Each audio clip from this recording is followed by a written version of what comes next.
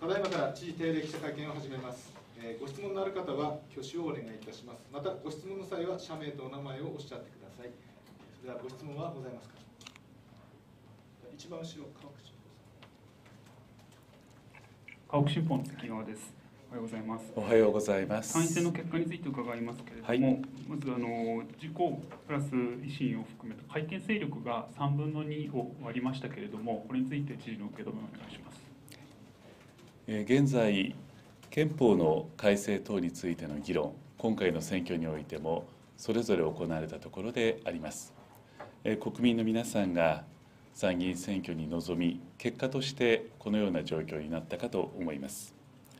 やはり今回の参院選は、令和の時代を迎えて、初めて行われた国政選挙であります。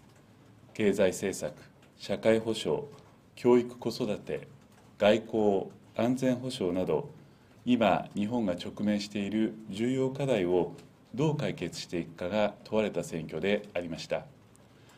今後、国会において、今回の選挙結果を受け、さまざまな重要政策について、活発な議論が行われ、また施策が展開されることを期待をしております。すみません。あの日本が直面する課題をどう解決するかが問われたというのは、そこにあの憲法も含まれるという考えなんですか？それともそことは別にあのまあ復興なりそういう直面した課題の方があの重視された結果だというふうに受け止めなんでしょうか？あの含まれております。えっともう一点あの東北に関して伺いたいんですけれどもあの、えー、32の1人区のうち、えー全国では10勝そのうち4勝があのあ野党から見て、えー、4勝が、えー東北ということになりました全国の傾向と東北少し違うんですけれどもこれについて知事はどういうふうに受け止められますか？えー今回の選挙結果、今、東北地域等の傾向について分析する立場ではないかと思いますが、各地域において、それぞれの候補者が自分たちの政策を訴え、そして選挙民が熟慮の結果、下された結果だと捉えております。ありがとうございます。じゃあその前、えー、民友新聞さん。民営新聞の鈴木です。おはようございます。おはようございます。二点お伺いします。はい参院選についてなんですけれども、当選した森さんへの、え期待感であったり、えー県としてこのような政策国での、えー発信を求めたいと、そういうところと、えーもう一点は投票率が伸び悩んだことについて、えー聞かせてください。はい、えー今回、森雅子議員をはじめ、えー本件関係の、えー若松先生、あるいは佐藤先生も当選をされたところでございます。えまず、当選された皆さんにお祝いを申し上げます。え当選された方々には、県民の皆さんの切実な思いをしっかりと受け止めながら、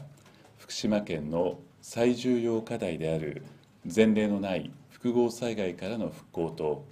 急激な人口減少対策に全力で取り組んでいただくとともに、国政の場において活躍されることを期待をしております。また、投票率でありますが、今回の参議院選の投票率は52.41%、これは前回に比べ4.71ポイント低下をし、過去2番目に低い結果となりました。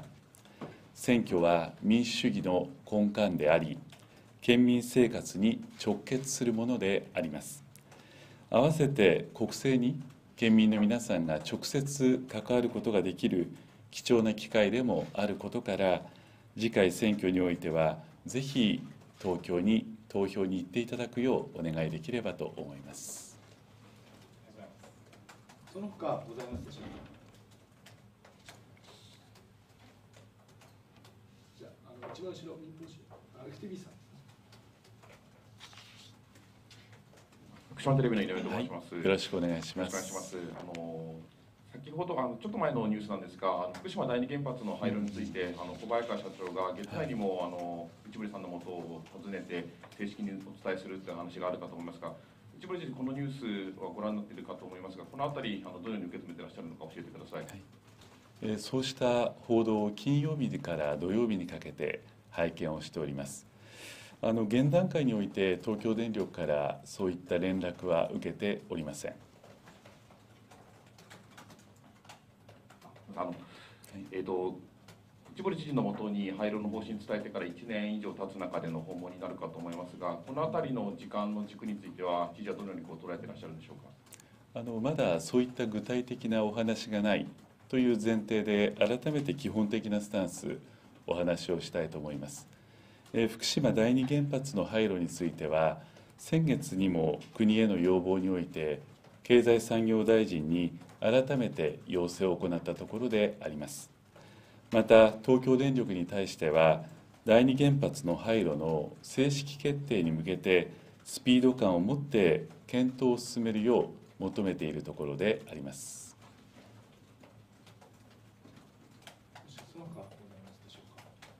じゃあ一応前、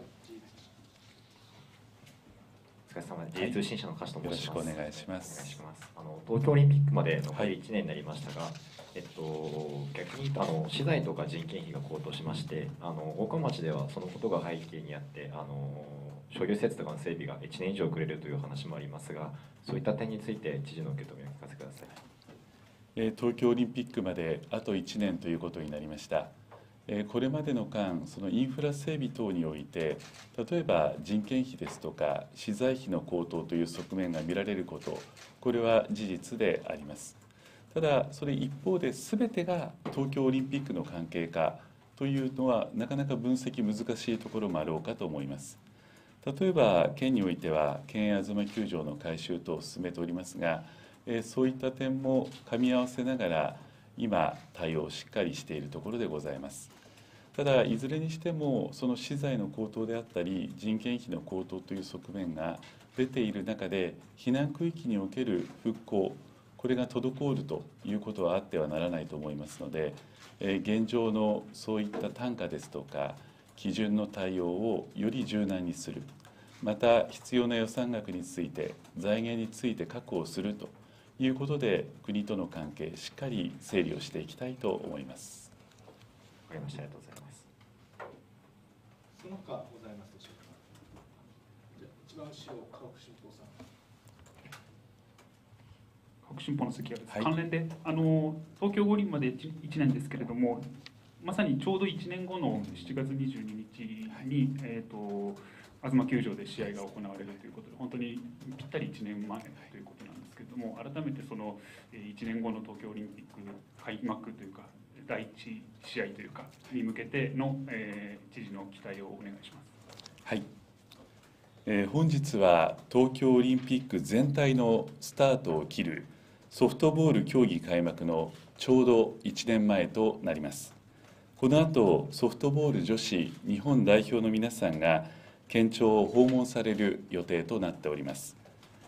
開幕の1年前となる24日にはソフトボール女子日本代表の皆さんを招いてのカウントダウンイベントや旧国立競技場許可台の除幕点火式を開催する予定でもあります。東京大会における重要なポイントの一つが参加であります。こうしたイベントをはじめ聖火リレーやボランティアなど多くの県民の皆さんに関わっていただき自ら参加をしていただくことでオリンピックへの関心がさらに高まりより力のこもった応援と盛り上がりにつながるものと考えております。2020年は震災から10年目に入る節目の年でもあります。これまでのご支援に対する感謝や福島の復興が着実に進んでいる姿に加え本県の魅力を積極的に発信しさらなる復興につなげていくことが重要であります。引き続き市町村や関係団体とより一層連携を深めながら県全体のさらなる機運の醸成を図るとともに国内外から来県される皆さんが笑顔で応援することができるようオール福島でしっかりと準備を進めてまいりますありがとうございますその他ございますでしょうか。では三番目の教物です。共同通信はいからと申します。お願いしますすみません、あの第二原発の話もはい出てしまうんですけれども、どうぞまああの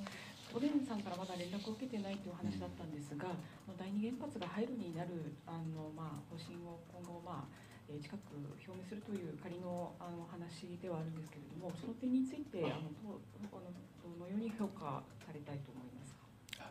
あのちょっと家庭の話はまだなかなか評価というところまでは難しいんですがやはり昨年の6月小早川社長から廃炉にするという方針をすでに表明をされています。ただ一方で正式決定には1年経っておりますがまだ至っていないという現実がありますので県としては政府に対してあるいは東京電力に対してまずは第二原発の廃炉を正式に決定するようそして何よりも安全着実に廃炉を進めていくこと。このことを求めていきたいと考えております。えっとまあ月内にもあの知事にあのお話打診があるということもあったんですけれども、特にスケジュールについてはあのお話はまだ来ていないということでよろしいでしょうか？あの現時点では全くそういったスケジュールについてのお話はございませんありがとうございました。その他ございますでしょうか？じゃあ、窓が一番後ろえー、家屋新報の神田と申します。よろしくお願いします。よろしくお願いしまあすの一連のあの吉本興業さんの問題で、あの福島県もあの業務提携であの吉本興業さんと関わっていると思うんですけども、まあ、今回のその反社会勢力との関わりみたいなものを、えーまあ、発表になったり、あるいはその後のまああの、え先週末のあの芸人さんの中で、まあ、要はあの吉本興業さんのガバナンスの問題もあるのかなというようなのは出てきたと思うんですけども、一連のこの問題についてですね、あの業務提携している地位の立場として、県の地位の立場としてですね、どのように見てらっしゃったかというお話いただきたいんですけども。はい、えーこの吉本の芸人さんに関わるさまざまな報道を拝見をしているところであります。反社会的勢力との関わりはあってはならないことであると考えております。また社長が本日会見されると報じられております。会社側からもこれまでの一連の流れについて何らかの説明が今後あるものと考えております。県といたしましては、同社において今回の事案をきっかけに、関与した芸人への対応やコンプライアンスの徹底に取り組むとしているところであり、今後の推移を注視をしてまいります。あの現段階ではその業務提携をしているという立場なんですけども、あの結果としてはこの提携関係というものもあの解消ということも考えていらっしゃるのかとお話聞きたいですけど。えーただいま申し上げました通り、えー現在さまざまな状況が動いているところでございます。今後の対応を注視をしてまいります。その他はございますでしょうか。よろしいでしょうか。では、以上で、えー知事の定例記者会見を終了いたします。ありがとうございました。ありがとうございました。